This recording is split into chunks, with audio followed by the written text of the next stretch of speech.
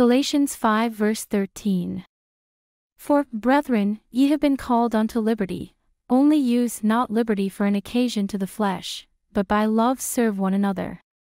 God has blessed us with liberty through his Son Jesus Christ.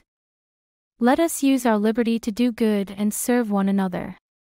Let us love one another as Christ has loved us, and the blessings and favor of God will be upon us all of our days. God bless you all.